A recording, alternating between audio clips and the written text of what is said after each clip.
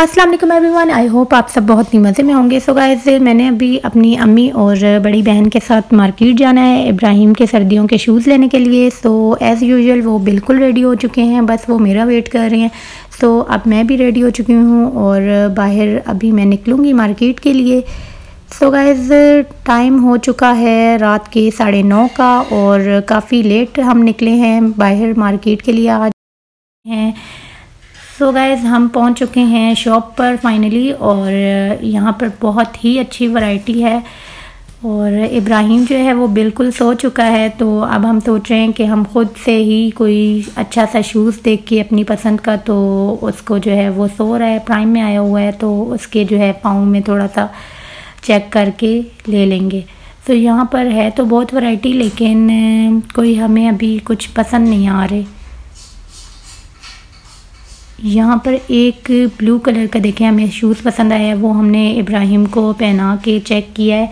वो बिल्कुल सो चुका है, लेकिन अब हम आए हुए थे और उसे भी पता था कि हमने शूज़ लेना है। तो हम सोचे थे कि अब हम ले के जाएँ। बट ये शूज़ जो है, यहाँ पे हमने इसको पहना के चेक तो कर लिया, लेकिन ये भी अभी हमें फिट लग रहा था। काफ़ी शूज़ देखने के बाद हमें ये वाला शूज़ जो है वो फाइनली पसंद आया बट ये निकला छोटा। दूसरी शॉप में आ चुके हैं और उस शॉप में जो है वो जो हमें शूज़ पसंद आया था, उसके साथ का कोई उनके पास बड़ा साइज़ नहीं था, एक नंबर बड़ा नहीं था। तो हमें जो है वो शूज़ जो है वो छोड़ना पड़ा और हम दूसरी शॉप में आ गए।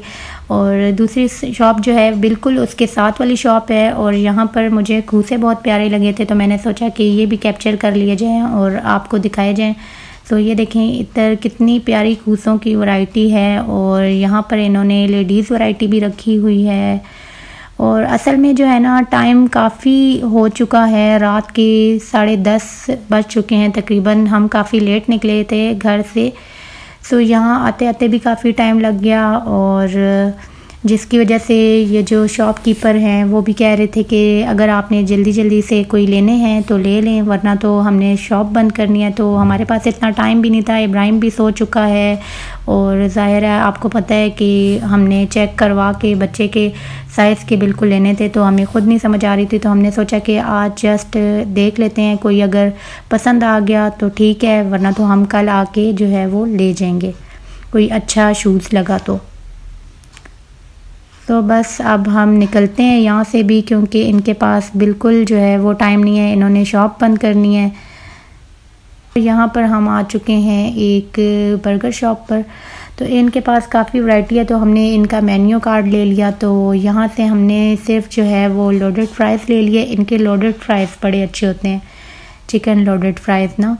तो हमने वो ले लिए हैं और इनसे पार्सल वगैरह करवा सो गाइस फाइनली हम घर पहुँच चुके हैं। बहुत ही ज़बरदस्त सी लोडेड फ्राइज़ की खुशबू आने लगी है। मेरे मुँह में तो पानी आने लग गया है। बस मैं अभी से खाऊँगी। और यहाँ पर मैंने कुछ चिप्स वगैरह भी ले लिए थे कैटी चेन्स वगैरह शॉप से रास्ते में। सो ये नाइट क्रेविंग्स के लिए ये भी बहुत ज़रूरी हैं, आपको तो पता ही है। और इधर नूडल्स वगैरह भी मैंने कुछ ले लिए थे अपनी बहन के लिए तो उसने कुछ नूडल्स की रेसिपी वगैरह बनानी थी।